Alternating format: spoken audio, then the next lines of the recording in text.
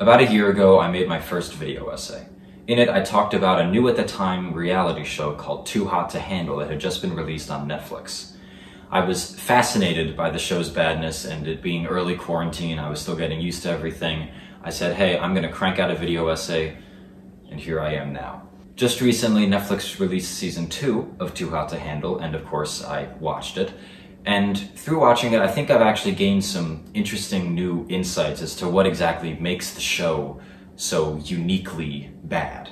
So this is that video, the long-awaited Too Hot to Handle follow-up, Too Hot to Handle. Let's do it.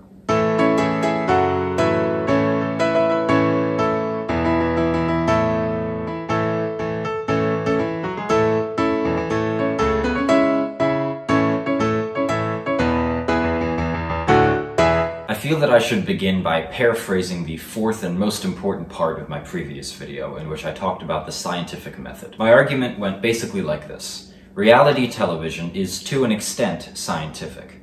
Not in any rigorous way, of course, but it does share a lot of commonalities with the scientific method. The crux of the scientific method is the testing of a hypothesis. If X, then Y. Now there's a couple of different ways to test a hypothesis, but the most relevant one for this video is this. If you want to test whether toilet paper dissolves in liquid, place toilet paper on a bunch of solids, it doesn't dissolve, then place it in a liquid, and it will dissolve. Now that's not the most rigorous proof ever, but you've essentially, to most people, basically shown that your hypothesis is true. Toilet paper dissolves in liquid. Too Hot to Handle also has a hypothesis, but instead of toilet paper probably dissolves in water, it's abstaining from sex probably leads to better romantic connections. In order to test this, the show takes a very specific kind of person. The kind of person who's both having a lot of sex and not already forming any good romantic connections. Now, the first step to any erotic conquest is to D. Demonstrate your value.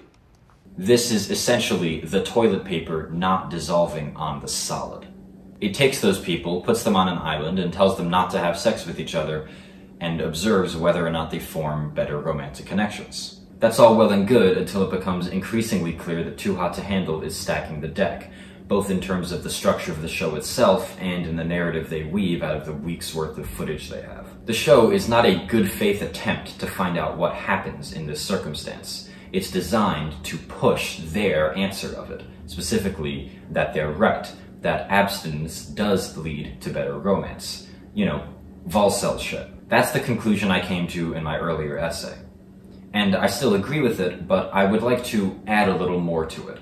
See, what I posed is that the show fails because they force-fed us an answer to their hypothesis. But what season 2 made me realize is that it isn't just that they cheated to get their answer, it's that their answer is wrong.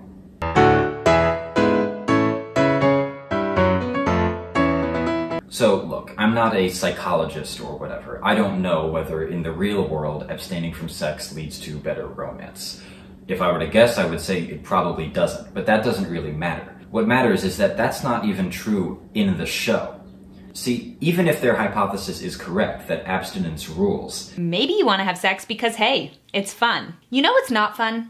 STDs. The show has failed to prove it.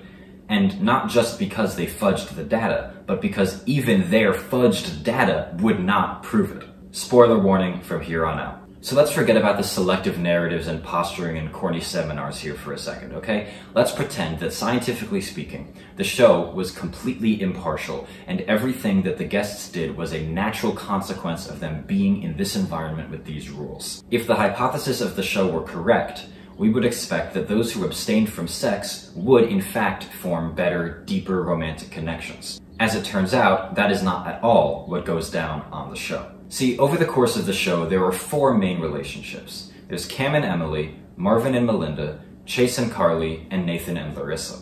Simply put, Cam and Emily and Marvin and Melinda are the sex havers, whereas Chase and Carly and Nathan and Larissa are the Volcels. Now, if the show is right, Chase and Carly and Nathan and Larissa should have better relationships than Marvin and Melinda or Cam and Emily do. But that is not what happens. The sex havers are the only two couples to actually be officially boyfriend and girlfriend at the end of the season, and Marvin won the cash prize. Meanwhile, for the Volcels, Well, Chase and Carly had a bad breakup about halfway through that basically put them both in a bad mood for the rest of the season. And Nathan and Larissa had such a bad breakup that Larissa up and left right after it happened. She just dipped from the show. Most failed hypotheses fail because the scientists can't prove a correlation between their two factors.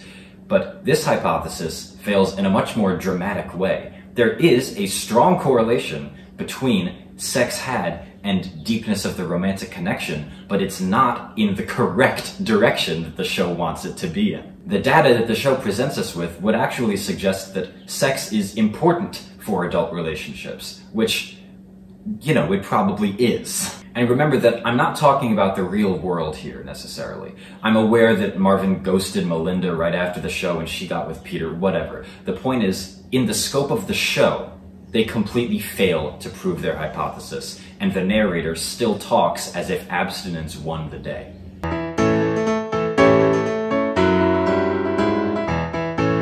So, the moment I knew I had to make this video happened around halfway through the new season.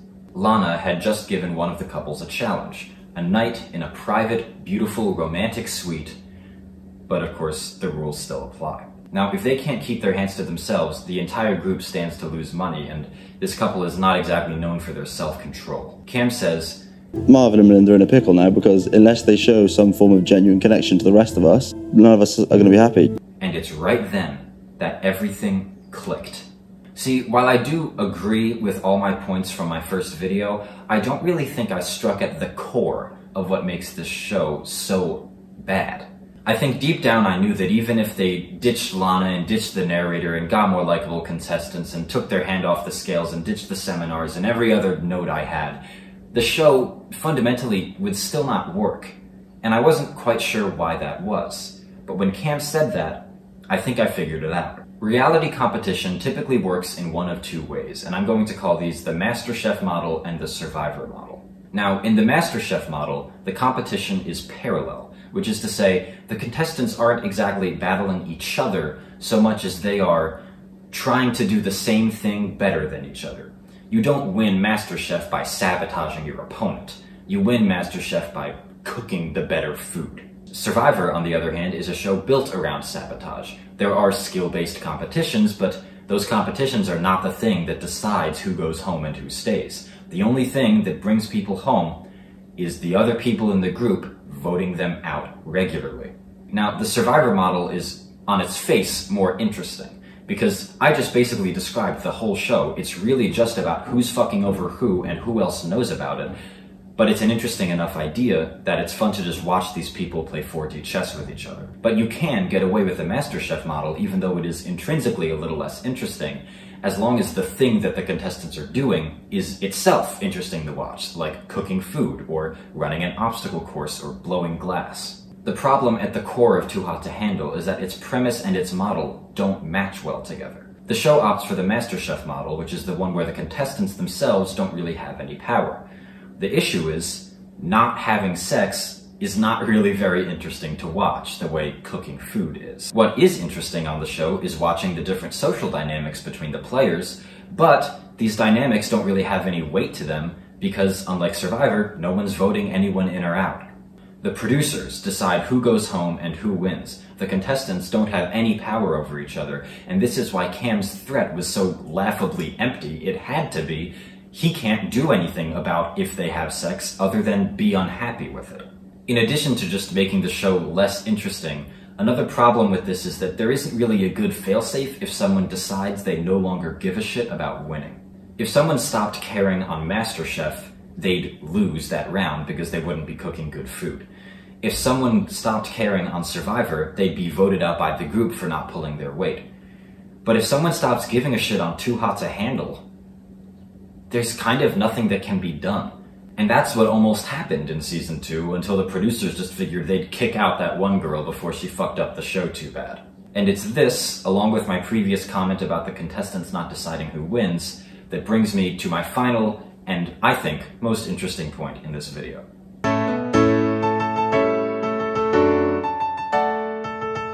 Even with all this stuff going on, I think the most interesting thing about Too Hot to Handle is the lack of clarity as to how exactly the contestants are supposed to win. This was a big complaint I had about the first season, and I stand by it. Basically, the audience and the contestants alike had no idea how many people would win, how the cash prize would be split among them, and most importantly, how exactly you win the show. And I had thought that this would be a first season problem, that if the show made a second season, they'd get past this. But they don't, and in fact, they kind of take it to a whole new level. There is a card game typically known as Mao. Supposedly, the game is named after Chairman Mao, who was once boss of China. Under Mao's administration, apparently people would be routinely arrested for violating laws they did not even know existed. The laws were constantly changing and often contradictory with each other. I did not check whether this was actually how it was in Maoist China, but regardless of whether it's true or not, this is how the card game got its name. In Mao, the game, the rules change round to round and game to game, and no one says them out loud. At first, only the person who wrote the rule knows the rule for that round, and other people learn the rule by noticing when that person tells people they've broken it. See, Too Hot to Handle, in my opinion, resembles Mao. It's not a perfect one-to-one analogy, of course, Mao is certainly more contradictory and more confusing, but they definitely share some connective tissue. There are some set rules in Too Hot to Handle, the main one being the sex ban, and this one is actually fairly straightforward, where we get into the Mao territory is with the eliminations. Four people are eliminated in the second season of Too Hot to Handle, and three of them are all eliminated for one reason, and that is they're going to fuck up the show if they don't kick them out. These are people who basically do not give a shit about winning or don't think they're going to win, and so the show can function, the producers have to kick them off the show.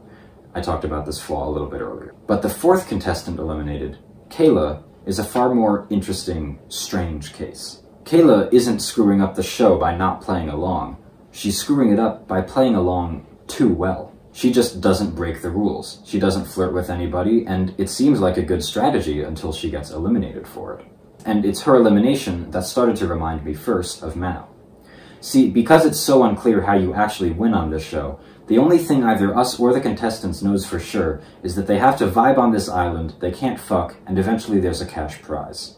Kayla figures, correctly, that if she doesn't flirt with anybody, it'll be easier for her not to fuck anybody, and therefore it stands to reason, it seems, she'll be more likely to win the prize, right, if she doesn't break any of the rules. But when she's eliminated, we realize that this itself was a violation of the rules. You have to be tempted. You can't just opt out of flirting in general. You have to almost have sex. And neither Kayla nor us had any idea this would be a rule until she was eliminated for it. And that is the crux of Mao. You don't know a rule until you've broken it. This follows as well for the final episode of the season in which two things are revealed. One is that it's just one person who's going to be taking home the entire cash prize, we didn't know that until then. And two, that it's the other contestants who are voting on who's going to win out of three predetermined finalists. Now, if you're savvy, you might be catching a contradiction on my part right now.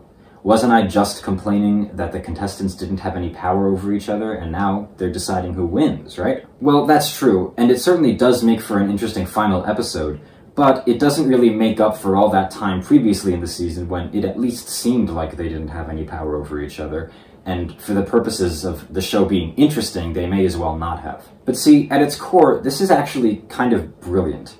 See, when you tell the contestants they're in the MasterChef model, that they don't have any power to decide who wins, the show gets less interesting, maybe, because they stop playing 4D chess, but it also gets more honest. No one is trying to make fake friends or get on anyone's good side just so they'll vote for them in the end. It's all a little bit more real. It's certainly more authentic than a show like Survivor, a show that's built on fake alliances and phony promises. What might have been nice is for the show to tell the audience that they're all going to be voting on the winner, even if they still didn't tell the contestants, because for us it would at least give us another thing to think about for the whole season, another dynamic. But regardless, this trick only works once.